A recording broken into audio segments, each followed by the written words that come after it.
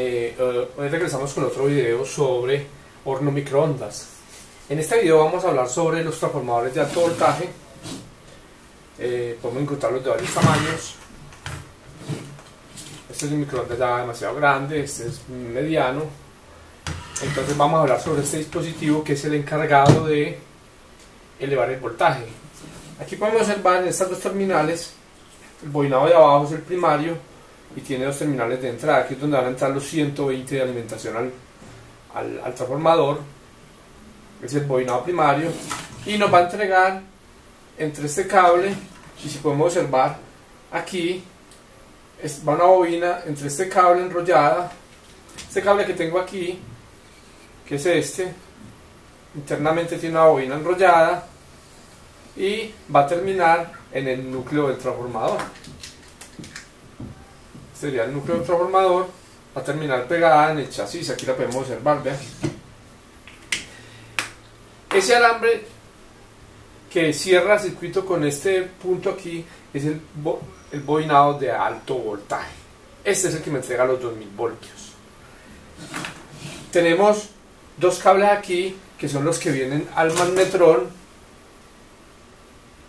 magnetrón, conectan aquí, que son el bobinado de filamento. Esto en los microondas, esto se llama filamento.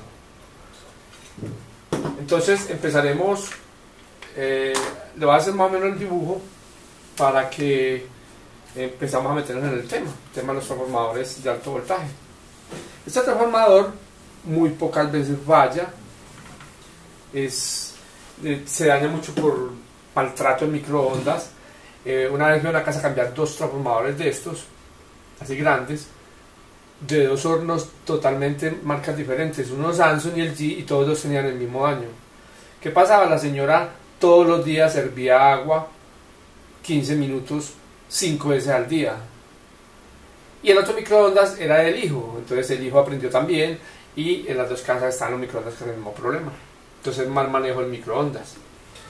Entonces para iniciar les voy a explicar, tenemos el núcleo del transformador, el núcleo, eh, él tiene un bobinado en la parte de abajo, lo podemos observar aquí, y tiene otro bobinado en la parte de arriba. Entonces, este bobinado que está en la parte de abajo es el que llamamos el bobinado primario. Bobinado primario.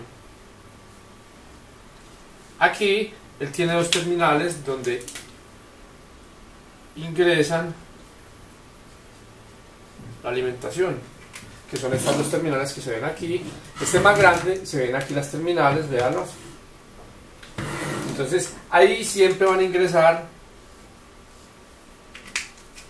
120 voltios AC. La tarjeta de control de microondas se encarga de controlar sea una o dos de las líneas que cuando yo le inicio me cierre una línea que le falta al primario para que empiece a trabajar. Pero mientras yo doy la orden en la tarjeta, estos 120 voltios no van a estar presentes ahí. De este otro bobinado, de aquí, saldrían un cable que les dije que era el de alto voltaje alto voltaje el cual viene y termina en el núcleo pegado en el núcleo aquí lo vemos aquí lo vemos este cable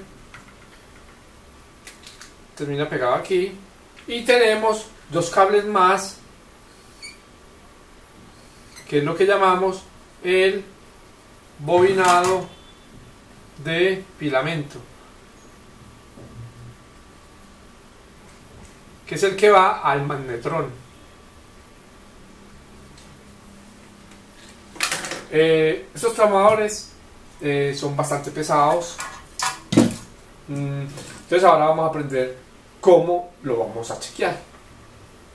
Entonces borremos acá, o no, no borremos para que tengamos idea. Cogemos nuestro multímetro y vamos a chequear el bobinado primario. Entonces colocamos en escala de continuidad y verificamos que no esté abierto el bobinado. Como observamos, pita. Y vamos a chequear el otro. Pita también. Este bobinado abajo, estas son las dos terminales, no tiene que ver nada con el de arriba.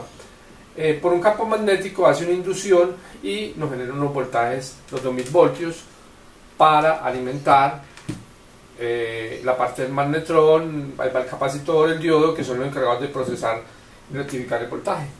Entonces ya hicimos el primer chequeo, que es verificar que esto no esté abierto este bobinado. Listo. Y que no esté aterrizado a chasis. Esto hay que raspalo porque esto tiene una pintura o donde van los tornillos. Listo, no están aterrizados. Ahora viene cómo identificamos estos cables. Eh, va a haber uno de los cables que es este con este. Me, me, marca un valor entre 80 y 400. Anteriormente decían que entre 80 y 120, pero ya estos transformadores eh, lo están fabricando en aluminio, han variado mucho las medidas. Entonces vamos a chequear entre un cable, este cable y el chasis puede ser aquí, me marca 209 ohmios.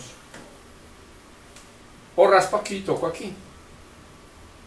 Entonces ustedes se preguntarán, si tengo tres, tres cables, ¿cómo sé cuál es el de alto voltaje con este y cuál es el de filamento? Por general de filamento se conoce por los por los cauchitos que vienen aquí que borran donde entra el magnetrón, pero hay una forma.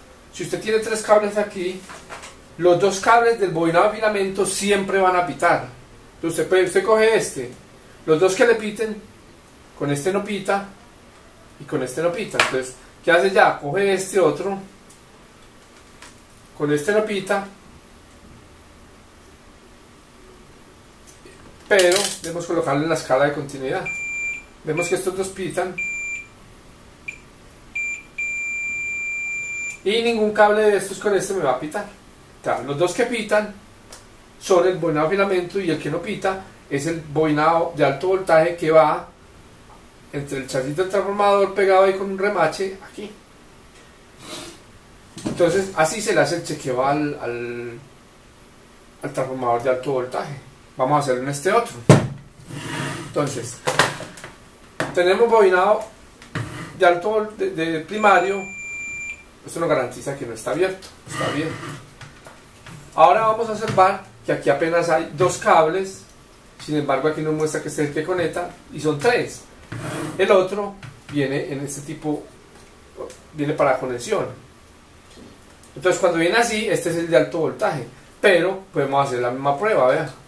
Este no me va a pitar con este, y no me va a pitar con este. Los dos que pitan es el filamento y el que queda con el chasis es el de alto voltaje que lo medimos en la escala de 2000 ohmios y nos marca un valor entre 200 y 400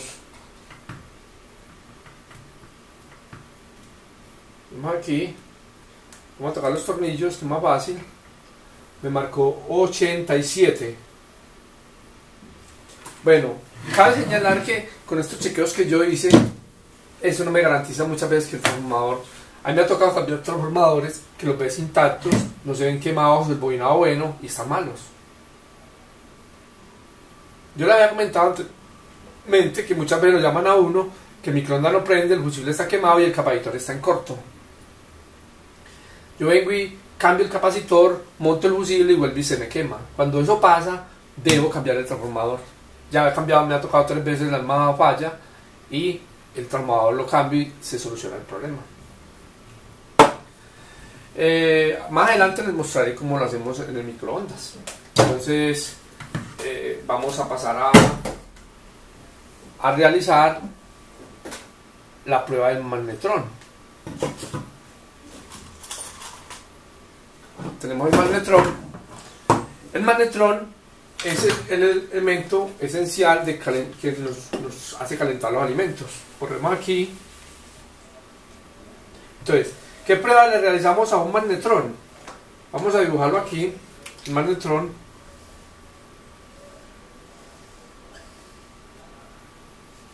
Tiene un filamento, la guía de ondas, las aspas y tiene dos imanes para concentrar los electrones y que no se, no se desvíen. Tiene el filamento entonces vamos a marcar las partes, tenemos filamento, cubierta de guía de ondas, guía de ondas, tenemos las aspas de disipación de calor, aletas o aspas, aletas, y la carcasa. Entonces, los chequeos básicos que vamos a realizar un magnetrón es chequear continuidad de filamento. Colocamos en la escala de continuidad, perdón, y oído. Como podemos observar,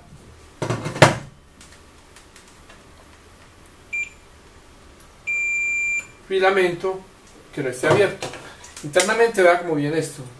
Filamento vienen dos bobinas enrolladas que aceleran los electrones, salen los electrones y son acelerados en un cañón ahí que viene a esta parte y emite unas ondas electrostáticas. La cubiertica que viene ahí, que es esta, tiene un orificio, esta está explotada, es para cuando salgan las ondas salgan derecho. Si usted no le coloca esto, se dispersan y él te calienta, pero lo que hacía en un minuto lo hace en tres minutos. Entonces, mucho cuidado, hay que colocarla siempre. Entonces, primer chequeo, filamento. Segundo, que el filamento no esté aterrizado a chasis. Ver aquí. No es que pite, sino que no marque nada. Si le marca alguna cosa, está aterrizado a chasis. Tienen que tocar la parte. Pues, eh, segundo chequeo.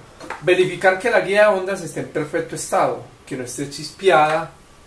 Le muestro cómo se va poniendo cuando meten cosas metálicas. Mire. Esta está entera.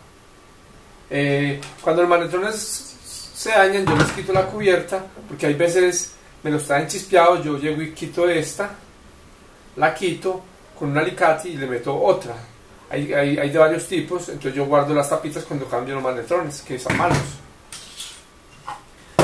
Entonces, primer chequeo, verificamos continuidad del filamento, que no esté aterrizado a tierra, vamos a hacer este chequeo con este a ver si de pronto este está aterrizado. Mire que este nos marca, vea. Entre filamento y chasis. Les muestro aquí bien para que se den cuenta. Y chasis. Vemos movimiento.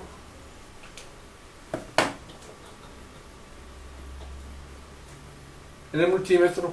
Quiere decir que este filamento está aterrizado a chasis. Con eso, sabemos que el magnetrón está mal. Esos son los chequeos básicos que se le hacen a un magnetrón. Podemos hacer un chequeador de magnetrones, cogemos un microondas que esté malo el teclado, toda la parte, le quitamos la tarjeta, le damos los microchips de seguridad y utilizamos la parte de alto voltaje que esté buena. Entonces hacemos, quita, hacemos un accesorio que nos callen todos los magnetrones, más adelante les mostraré uno que tengo yo y usted puede meterlos ahí y ensayar los magnetrones. Pero cuando veamos el tema de la segunda parte de la unidad 6, eh, va, que vamos a analizar cada falla, eh, les mostraré que sin, eh, si usted hace unos chequeos paso a paso como yo los indico, cuando usted llega al magnetrón, usted sabe el 95% de que es el magnetrón, sin tenerlo que chequear. Entonces más adelante que en la segunda parte de la unidad veremos la parte de, del chequeo del magnetrón, eh, o cómo sabemos que es el que está fallando sin muchas veces tener que llegar a tocar el elemento. Entonces espero que el video haya sido de su agrado. Eh, más adelante eh, en el otro video les mostraré cómo chequeamos el capacitor del diodo y luego haremos las pruebas de transformador, magnetrón, capacitor y diodo montado en el microondas. Sea, como si hubiera llegado, no desmontándolo, sino haciendo el chequeo eh, firmemente. Entonces nos veremos en el próximo video.